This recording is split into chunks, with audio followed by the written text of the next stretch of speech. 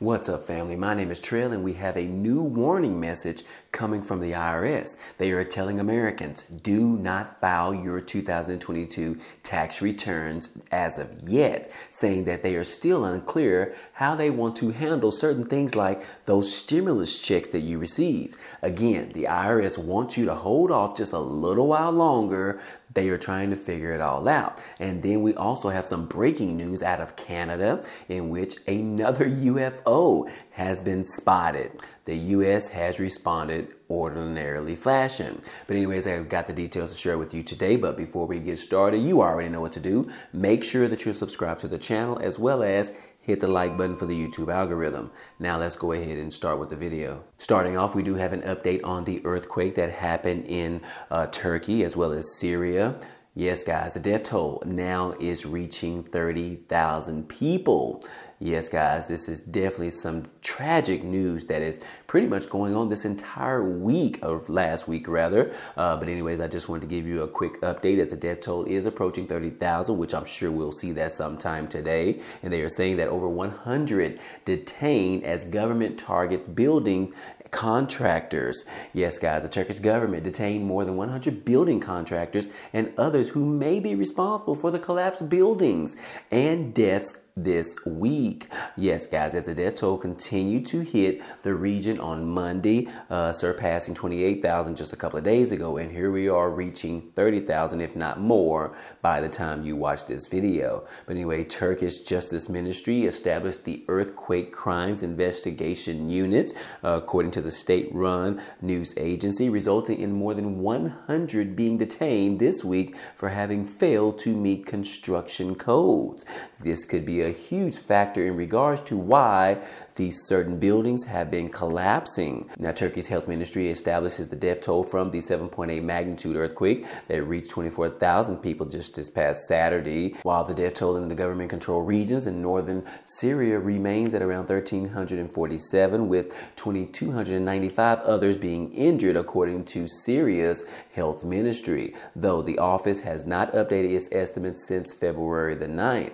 Now, again, the U.S. military began deploying forces to assist with the relief efforts uh, this past Friday. So that is some good news that we are lending a hand uh, during these uh, particular times that Turkey and Syria is going through. But uh, anyways, the biggest question is how long will these numbers continue to keep going up, guys? I told you before, we need to continue to pray for all of them out there. And if you can, donate what you can, guys $1, $2, $5, $10. It doesn't matter, whatever you can, because we have around 390 million people in this country. And if we could just get all of them to just donate $1, that can make a huge difference, guys. But, anyways, guys, I am just a random YouTuber and uh, I don't have that much reach. But, anyways, guys, if you could, uh, I definitely would want to encourage you to do that. Now, moving on, guys, we do have an IRS warning message, and this is one of the first of its kinds. But the IRS is telling millions of Americans that in more than 20 states to hold off on filing your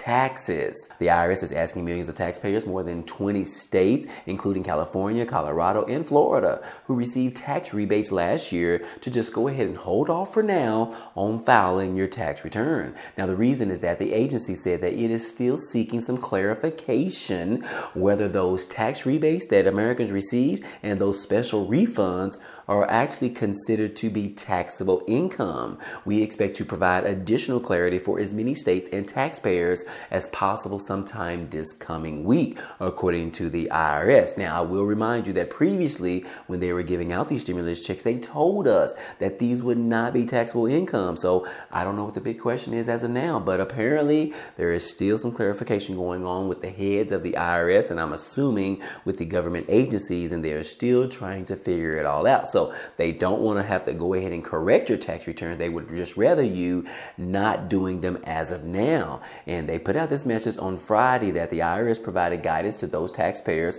For most of the part, uh, those rebates aren't taxable. Now, during the review, the IRS determined that it will not challenge the taxability of payments related to general welfare and disaster relief, according to the tax agency. About 16 million California residents received the middle class tax refund, checks of $350 per individual taxpayer last year, part of the relief package designed by the state to help residents cope with the soaring inflation at the time when the state had a budget surplus. But, anyways, guys, like I said, more than 20 states authorized tax rebates last year as their coffers were buoyed by strong economic growth and federal pandemic aid. The IRS on Friday said that taxpayers in the following states won't need to report the rebates as income. Again, these are the 20 states right here, guys, and I'll just read them real quick to you just in case you're listening and not watching me. But, anyways, Alaska, California, Colorado, Connecticut, Delaware, Florida, Hawaii, Idaho, Illinois, Indiana, Maine, New. Jersey, New York, New Mexico, Oregon, Pennsylvania, and Rhode Island. Again, the IRS added that many people in the following states won't have to report their rebate checks as income if they meet some qualifications. For instance, this is the case if the rebate is a refund of state taxes paid and the taxpayer claimed the standard deduction or itemized deductions but did not receive a tax benefit, according to the IRS. And these particular states are Georgia, Massachusetts, South Carolina, and Virginia. And then they also also have some other topics on here, guys, where they're talking about the delay in actually filing your tax return. Uh, talking about it right here that those one time windfalls through a rent into tax season for millions of Americans, many of whom count on getting timely tax refunds to pay down their debt, make a purchase, or get on top of some late bills. Last year, the average tax refund for the 2021 tax year was almost around $3,200, which is a 14% jump from the prior year according to some IRS data. But this uncertainty is unfair to taxpayers, wrote uh, Jared Walczak. Vice President of State Projects at the Tax Foundation Office. Tax experts have long known that the taxability of state rebate payments would be an issue once tax season gets around. And here we are. They are finally at that particular reasons. But the IRS remains silent until February the 3rd. Could this be because they just don't have enough funding right now because the United States wants to fund them with $87 billion just to get their foot on the right track? Uh, we don't know, guys, but this is what we are dealing with right now, and this is affecting millions of Americans. In fact, 16 million Americans in these 20 different states. Now, again, they we are saying that if you go ahead and file an amendment, you could actually be penalized, even though they are telling you to go ahead and amend it right now because they're not prepared to, they don't know what to do with it, and they just still trying to figure it out. So, but instead, if you file an amendment, they are trying to penalize you guys. And yes, we are talking about the IRS, one of the greatest government agencies in America. but, anyways, guys, do not file an amendment because you will definitely receive a penalty on your tax return. So, uh, anyways, guys, this is just the information that we have right now. It also says that IRS says California, which most state tax rebates aren't considered taxable income. So, that is some good news for those of you that live in the state of California, uh, guys. So, anyways, like I said, the IRS is pretty stuck right now. They're really trying to figure out the right direction to go. I don't necessarily know who they are waiting for, but they are pretty much trying to figure out this information so that they can go ahead and allow those tax returns to get those tax returns flowing back in again. So, anyways, guys, if you haven't filed yet, hold off just about a week or so. I'm sure they'll have an answer for you. And if you have already filed, you'll just have to wait for a new direction from the IRS. Now, moving on, guys, we did see some breaking news over the weekend in which, uh, just on Friday, we just saw the United States shot down an unidentified object that was flying near the Alaska coast, which was flying at around 40,000 feet in the air, which was pretty much in the same area as commercial airlines. So it was causing a little bit of threats to the commercial side of our airplanes, and uh, the United States ended up shooting that down. And here we are on Sunday. The United States military ended up shooting down another unidentified object. This time it was over the Canadians' territory. Yes, guys, we heard from the president of Canada in which he pretty much saw the unidentified object, and within less than an hour, he did order for this object to be shot down. He also contacted the United States military as well so they can work together, considering that this particular unidentified object was in between the borders of both countries. And ultimately, guys, the United States military was the ones that ended up shooting down this particular object over Canada's Yukon territory. Yes, it says that the Canadian Prime Minister Justin Trudeau uh, said he ordered the takedown of the unidentified object flying over Canada's territory on Saturday. The object was shot down by the U.S. military fighter jet from the U.S. and Canada's North American Aerospace Defense Command. The President of Canada said that, look, I spoke with President Biden this afternoon. Canadian forces will now recover and analyze the wreckage of the unidentified object. Thank you, NORAD, for keeping the watch over North America. Now, the two leaders approved the takedown of the object out of an abundance of caution and at the recommendation of their military. According to the White House, since NORAD detected the object over Alaska on Friday evening, North American officials had closely monitored it as it crossed into Canadian airspace on Saturday. Pentagon Press Secretary Bridge General Pat Ryder said in a statement following the call with between President Biden and Trudeau, Biden authorized the F-22 to shoot down the object with a missile in Canadian territory. So again, Canadian Defense Ministry Anita Anand said that the downed object was cylindrical in shape and flying at about 40,000 feet. She said it was down in central Yukon, about 100 miles from the US Canada border. So, anyways, guys, what is going on right now? All of a sudden, did the aliens end up seeing the big white balloon and they got jealous because that white balloon was able to float all around the United States for several days? Could that be the reason why we have pretty much seen two unidentified objects over the past, what, 48 hours?